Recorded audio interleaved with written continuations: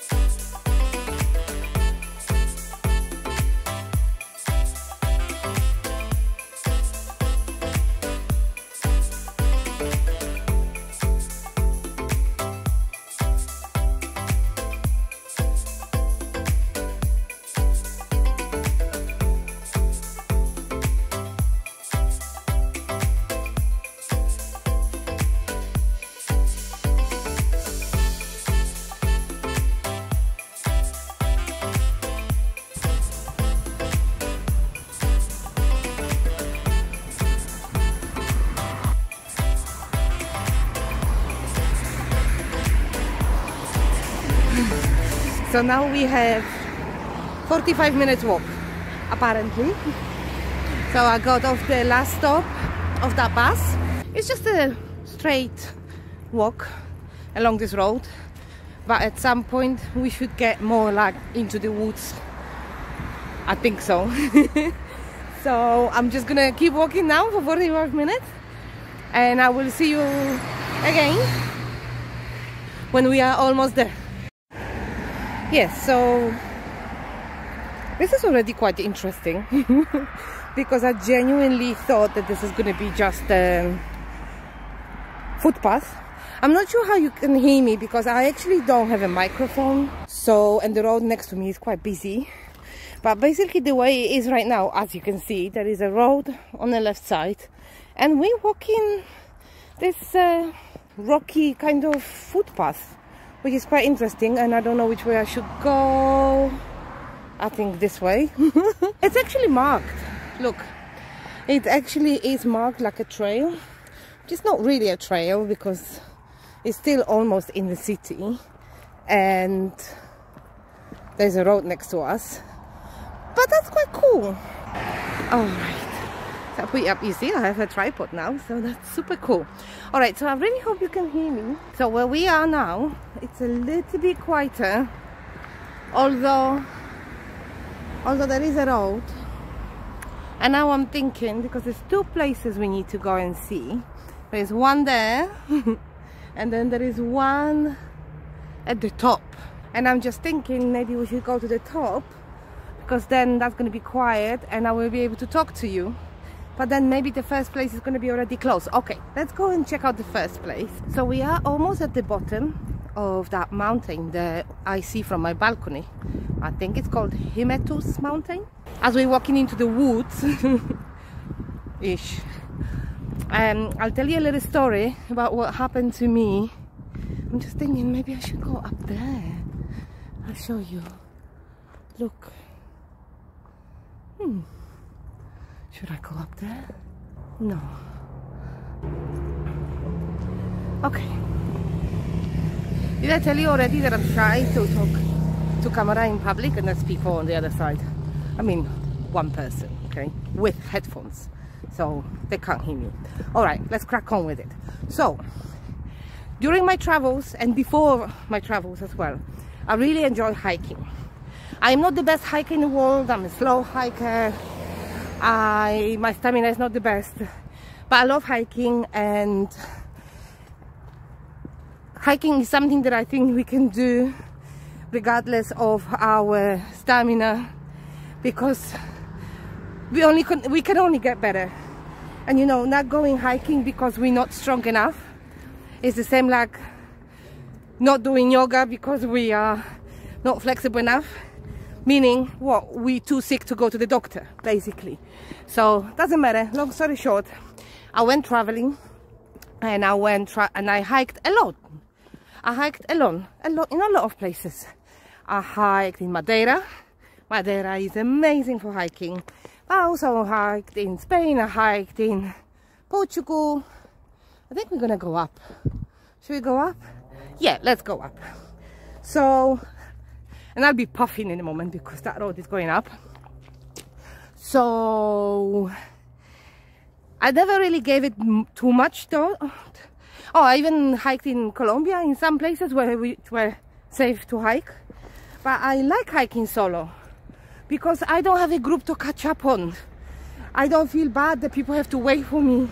If I want to stop and catch a breath or if I want to stop and take photos I can just do it in my own pace. So of course I would always make a research about the best hikes and if they're safe and if they're safe to go solo, all that. But I never really made much research when it comes to wildlife. I don't know where you're from, but where I'm from, wildlife is not much of an issue. Uh, I, I was born in a city. I'm scared of cows. Yeah, know it's ridiculous, but I am actually scared of cows. I'm scared of very, very big animals. And don't know, maybe one day it's gonna get better, but don't know. Anyway, so I went to North Macedonia last year. Yes, last year. I have to look down because there's a lot of boulders, you see. Look a lot of and I'm wearing yes and I'm wearing jeans and my Skechers. Because I didn't know it's gonna look like this. So great hiker I am. But anyway to continue. So I went to North Macedonia which I love. The lake Ohrid is one of the most magical places I have ever seen in the world. It's amazing. And there are beautiful mountains surrounding Lake Ohrid and everybody was saying how amazing it is to hike there. So I decided I'm gonna go hiking. But this is the area that is not very popular, which is a good thing because it's very much untouched. It's not spoiled by people. Uh, so I've heard about all these amazing hikes and how famous those trails there are and all that. But someone mentioned bears. I was like, nah, they said but when they mentioned you know when someone mentions something it just goes into your head and you just can't get it out of your head? So i started asking like are there bears in there? They said no those are trails. Even if they are bears they are bears they they stay away from the trails and all that. You know sometimes something has to happen to you before you realize what can happen? so I went hiking and I was supposed to do the easy hike, very, very popular one, which is not far from Ohrid. But a guy that was working in the hostel that I was staying in at that time, I stayed in that hostel for a long time. We made friends with everybody that was uh, working there.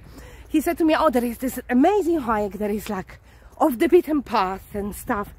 I'll take you there, we go by bus and then you go hiking from there. And I was like, yeah, let's do that. So he took me there by bus. He left me there and went hiking. The trails were very well marked. Those were some, one, some of the... I'm sorry for my puffing, by the way. Those were some of um, the best, best marked trails I've ever seen. Really good. You could not get lost. But the trail that I was originally supposed to take was going up, but it was going up in the woods. And I kept walking and walking and I kept walking in the woods. I'm not a big fan of walking up in the woods. I like views. I like vistas. Uh, what I like about mountains and hills and what I, it's just that you see, is that you see beautiful things. and when you get to the top, you feel accomplished and then you have views. So I got bored and then as I walked up there, I also seen a very large pool. and it freaked me out. I was like, I'm not gonna walk in these woods. There's big animals here. I'm just gonna go back because when I started that trail, I've seen another trail that was going, was like a rich, rich trail. So you could actually, you walked on the side of the mountain and you could see the sea, and I mean not the sea, the Lake Ohrid, which looked like a sea. We could see the Lake Ohrid on the right side and beautiful mountains on the left side, which for me, it was much better anyway, because look how beautiful it is. How awesome. I love it here. So I decided to go back and take that, the more picturesque trail. And it seemed to me a little bit safer because it was more exposed. There was like lots of exposed fields. so I'm walking, not a single soul apart from me on that trail. I was walking already for probably like one hour and a half and I haven't met a single person. And I'm walking, beautiful views on the right side. On the left side there were mountains and some bushes. And I walk and suddenly I hear the noise. Only thinking about it just gives me goosebumps. I heard the noise and I was 100% sure the bush on the left side moved, like rattled, and then I heard the noise. And I was like, this is a bear. Because I've never heard a voice like this, like the sound like this, ever. And also, although I have a tendency to panic, I think in the toughest situations, like really tough situations, I kind of get my shit together most of the time. But I knew what it was. I knew exactly what it was. And when I was telling to people later about it, they said, oh, did you look? Like, what, what is wrong with you? Why would I look? So I did not see it face to face, which is probably a good thing because I would probably just die of heart attack. I, I just cannot imagine what I would do if I seen a bear face to face. Something inside me told me that I should not run, which then after that I read that was a very good decision. But I definitely started walking much, much faster. I continued on that trail, but then because I was already shitting myself and I knew the trail goes for another two hours, I had enough. I was like, I want to get out of here as soon as. So I walked, walked, walked, walked, walked, and then I stood by the trail sign. You know, there is this signs with different trails sometimes. And the one that I wanted to take was telling me another two hours. The faster one was one hour, but I would have to go back on myself. I was like, I'm not going back on myself. I'm not going there. So this was the moment when I felt panic. I was in these mountains completely on my own and I didn't do something. So please learn from my mistake. I have not taken any phone numbers from my hostel, from the owners of the hostel, from the guy that uh, brought me to that trail. I literally had nobody to call. And I am the first one to always give advice about hiking safely. And I didn't do it. I was shitting myself. One good thing that I did, because obviously in a situation like this, Google is useless. But so one good thing that I did was that I've downloaded uh, Maps.me and I've obviously downloaded uh, offline maps. Maps.me is the best for hiking in places where you would think there would be no trail, uh, there would be no map. It is there. So luckily, I went inside of me, like my heart be beating. I, I was like, I was so stressed. I could feel it in my legs. You know, when your legs are just like of stone. It was crazy. And I found the trail that was going right down to like a little village. I would have to go back on myself just a little bit. I would not have to go back to that place where I've heard the noise. So I decided to do that. So I went back and then I found the trail and I just went down. I am not a runner and I'm definitely not a trail runner not running in all mountain trails. And luckily the shoes that I was having, they were trail runners. I ran down. I literally ran down. So I suddenly became a person that does trail running. It was around half an hour down the hill. And when I finally got to that little village, uh, the relief, I mean, I felt so lucky. I mean, I know I did a lot of research after that. Bears don't attack people. They, they have no interest in us at all. They don't want to eat us. They don't want to have anything to do with us. They would only, only attack us if they feel threatened. So anyway, long story short, I did have a couple of other things that day and then I came back to the hostel. So, you know sometimes when you hear things but you don't see things, you start double guessing yourself, questioning yourself. So I decided I'm going to test it. I'm going to see what it was that I've heard because it definitely was loud and it definitely was scary. So I uh, went on YouTube, our friend YouTube, and I, and I knew that there are brown bears in these mountains. So I basically googled a sound of growling uh, brown bear and when I heard the noise, when I heard the sound, I knew that that was exactly what I've heard. I'll be honest with you, it slightly traumatized me for hiking solo in the mountains. I know a lot of people love it and a lot of people love like going and actually want to see the bears. Me, I don't. I am fine not seeing a bear ever, ever, ever in my life. The, what I've learned after that, after a lot of reading and researching, bears don't like the smell of people. They stay away. So that's why it's always recommended to go in groups because the more of us the more we smell. So they would stay away. Make noise you know there are these rattling things like keep the animals wild animals away. But there are beautiful mountains here which i don't think i'm ever gonna hike by myself. So i need to find some hiking buddies because I want to go hiking. But I will take you hiking with me because there are some coastal hikes here as well. I'm definitely uh, going to do some of the coastal hikes, so I'll take you there. But this is the story. And now I'm just going to go to the place where I am planning to go to. We actually have two points to visit. So let's go and see the first attraction of today. Let's go. So, all this amazing planning of mine failed because we are here a little bit too late to go inside. The monastery is closed. I think it closed at 4 or 5 o'clock and we are quarter past 5 so we are 15 minutes too late. But that's fine. it's very beautiful here. It's so peaceful. There's like these little gardens and woods around it. And I do believe that this is the monastery. So this monastery is one of the oldest monasteries in Athens region. It's been built first, for the first time in uh, the 11th century. It's meant to be very beautiful inside, so I do apologize that we're not to see it inside.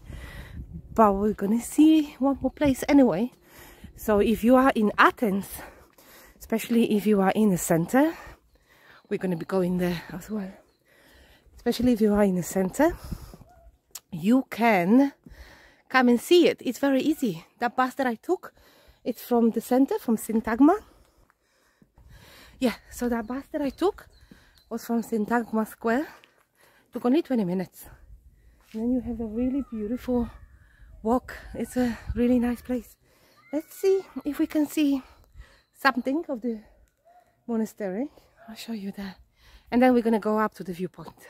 It looks like there is like a museum there as well with some photo gallery. There are not many people here right now.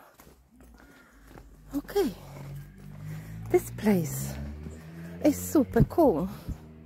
I love it here. You should definitely come here if you have time when you're in Athens and you're tired of the busyness of the city and want to see the nature, you should definitely come here.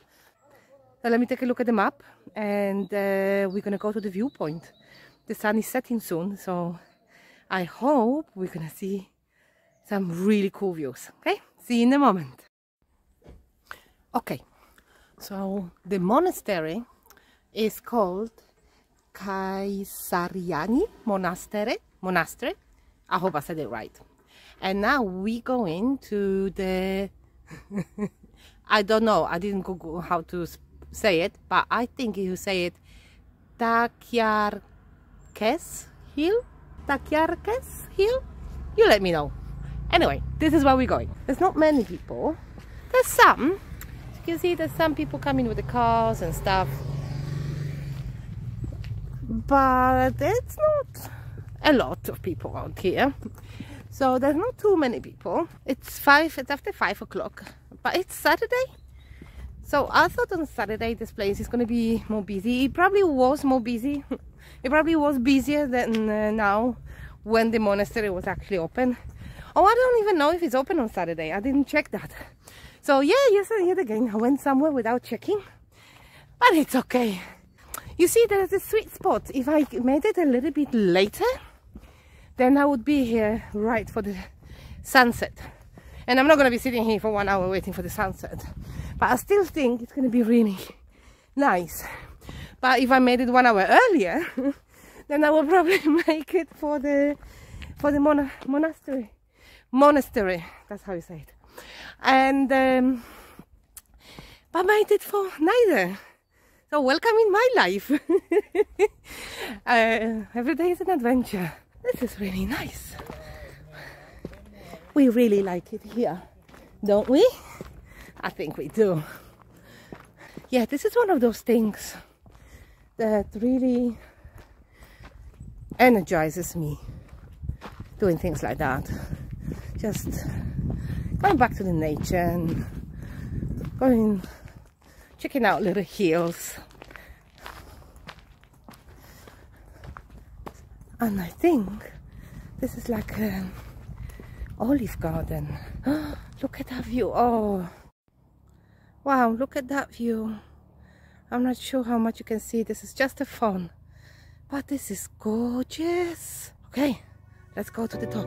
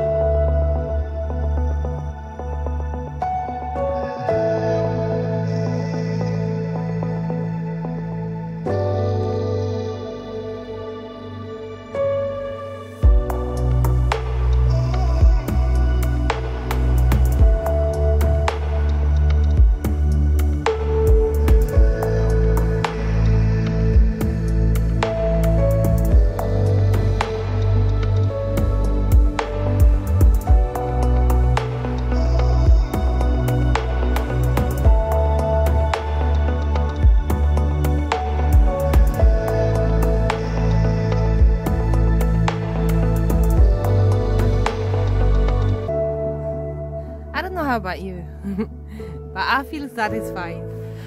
Even though the monastery was closed and but this place is just so magical. I'm sorry, I know that my camera is not really giving it much justice. It's just so much more beautiful in person. So I highly, highly recommend coming here when you're in Athens. It's a really great place and there's lots of hiking trails around as well. There's lots of different viewpoints around here. So you can actually spend easily half a day just walking around here and the view is to die for. It's just so gorgeous. I'm gonna stay here for a little bit. Just uh, chill. I'm probably not gonna stay until sunset because there's still another hour and I'm hungry. so I'm just gonna stay here for a little bit and chill. I really hope you enjoy this mini adventure with me. If you like uh, going out and explore places around Athens that are really not that well known and not too many people know about, let me know I have a couple more ideas. There's definitely at least two other places that I really want to take you to. Ah, oh, that's so many. I will leave you with that. I'm just gonna, like I said, I'm just gonna chill here for a moment, then walk all the way back, take the bus, and go home and eat something and enjoy for the rest the rest of the weekend. And I wish the same to you. Have a wonderful rest of the weekend. If you like what I'm doing here, just subscribe please give me a thumbs up because it definitely helps the algorithm. Thank you for being here. Thank you for walking with me and enjoying my adventure. I'll see you next week. Take care. Bye